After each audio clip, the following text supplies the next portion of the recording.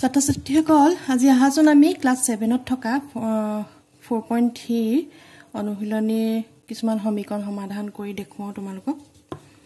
এটা কুৱেশ্যন আছে লিখা আছে সমীকৰণবোৰ সমাধান কৰা minus four two plus X equal to eight এই সমীকৰণটো আমি কেনেধৰণে সমাধান কৰিম এতিয়া? পুৰণৰ বিতৰণ বিধি প্ৰয়োগ কৰি কি হ'ব? মাইনাছ ফ'ৰ ইণ্টু টু মানে মাইনাছ এইট প্লাছে মাইনাছে কি হ'ব? Minus minus four X equal to eight এতিয়া এই মাইনাছটো ইফালে লৈ যাব পাৰা। মাইনাছ ফ'ৰ এক্স এইটো মাইনাছ এইট ইফালে গ'লে কি হ'ব? মাইনাছত থাকিলে প্লাছ হয়। Minus four X equal to কিমান হ'ব? আঠে আঠে ল ছিক্সটিন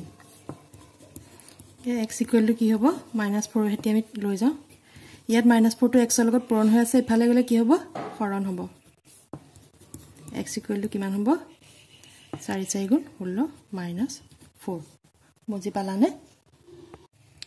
এতিয়া অন্য এটা সমীকৰণলৈ আহিছোঁ। Minus four equal to five into P minus two এইটো আমি কেনেকৈ সমাধান কৰিম?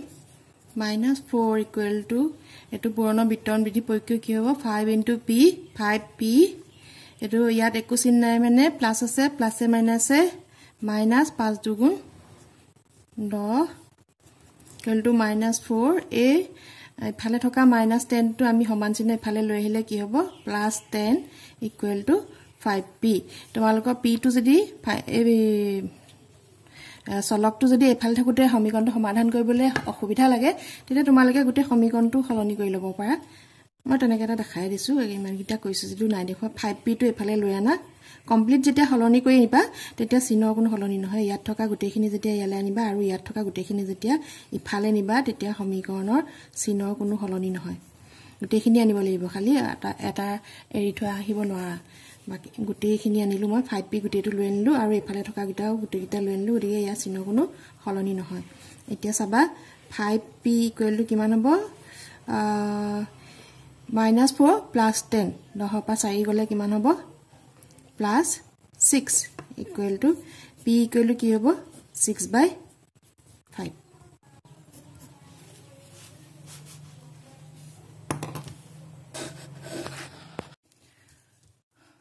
এটা সমীকৰণ লৈছোঁ। Zero' equal to sixteen plus four into M minus six এইটো আমি কেনেকৈ সমাধান কৰিম?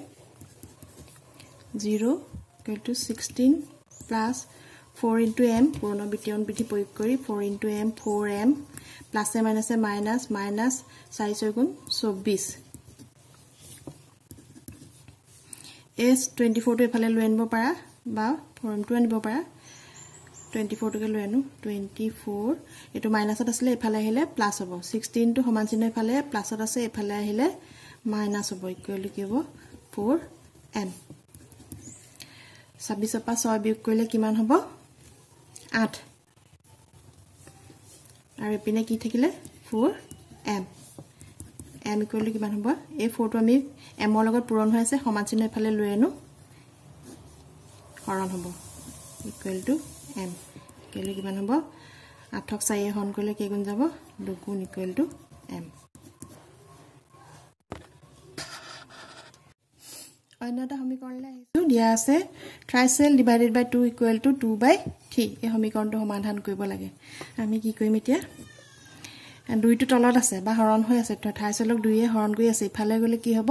পূৰণ হ'ব। ট্ৰাইচেল equal to two by three এই দুইটো যদি আমি ইফালে লৈ যাওঁ কি হ'ব? পূৰণ হ'ব। হৰণ হৈ আছে পূৰণ হ'ব। এতিয়া কিমান পাম। ট্ৰাইচেল ইকুৱেল টু এইটো একো একো তলত নাই মানে তলত ওৱান এটা আছে বুলি ধৰি ল'ব পাৰা। মানে two into two divided by three এতিয়া এই তিনিটো এই এলৰ লগত পূৰণ হৈ আছে আমি কি কৰিম? ইফালে নিলে কি হ'ব? হৰণ হ'ব। মানে four three into three equal to কিমান হ'ব? Four by nine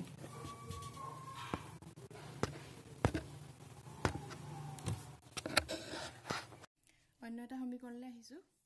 Seven M plus nineteen by two equal to thirteen এইটো আমি কেনেকৈ কৰিম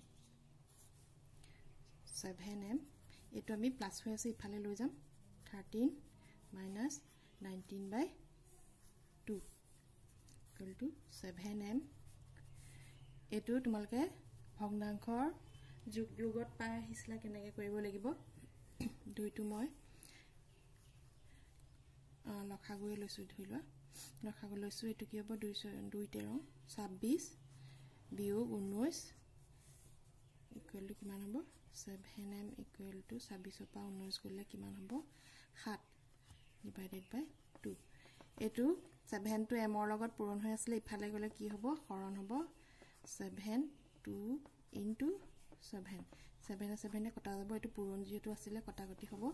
গতিকে এম ইকুৱেল টু কিমান হ'ব? হাফ